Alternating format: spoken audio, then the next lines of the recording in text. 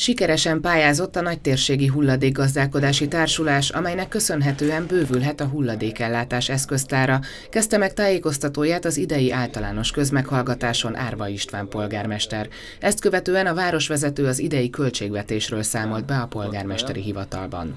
Köszönhetően a az adós konszolidációnak, vagy adósságkonszolidációnak és a gondos gazdálkodásnak az önkormányzat idei terve úgy néz ki, hogy biztos lábakon áll, likviditási helyzete erős, lehetőség nyílt jövőben megvalósítandó nagyobb lélegzetvételű, magasabb forrásigényű fejlesztésekhez szükséges pénzeszközök megtakarítására, elkülönítésére. Az idei költségvetés főösszege meghaladja a 7 milliárd forintot, amely folyamatosan növekszik. Ennek 34%-át beruházási feladatok ellátására, a maradék 66%-ot pedig az önkormányzat és az intézmények működtetésére fordítja a város.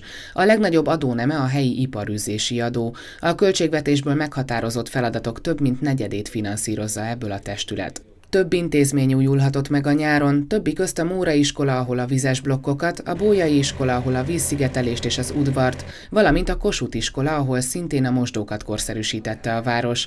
Az óvodák közül például a Lurkóvár óvoda felújítását kezdték meg, jövőre pedig az épület bővítését tervezik. Az őzikés és a vackor óvodákban is új mosdóval indult a nevelési év.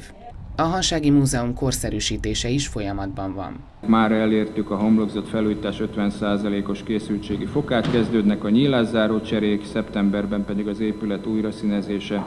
Számos utca új burkolatot kapott ebben az évben, és továbbiaknak pedig még az idén neki lát a kivitelező városüzemeltető és fenntartó Kft. Idén zárult le a Kossuth Gimnázium öveges projektje, térfigyelőrendszert helyeztek el a városban, és több energetikai célú fejlesztés is megvalósult. Moson Magyaróvár nyert az Agóra pályázatán, amelynek köszönhetően 614 millió forintból megújulhat a Fleskároly Kulturális Központ. Moson Magyaróvár legnagyobb beruházása azonban a városi sportcsarnok építése, amelynek alapkövét tegnap helyezték el. A közmeghallgatáson mindössze egyetlen érdeklődő volt. Utóbbi 80 évben Károly-ligetben lakom.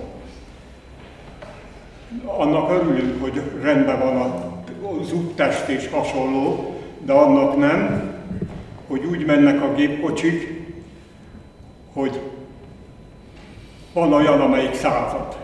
A továbbiakban pedig egyes helyeken az útfelfestést, valamint a földre hullott szárazgajak eltakarítását hiányolta a városlakó. Kevés az eszköz, kevés az ember, azt tudom, de az eszköz is, és ezt azért nem tudom megérteni. Úgyhogy Éppen ezért a polgármester arra kérte a VÜV Kft. ügyvezetőjét, hogy szerezzenek be új eszközöket és folyamatosan tartsák karban a felfestéseket. A sebességkorlátozásról pedig értesíteni fogják a rendőrkapitányság vezetőjét.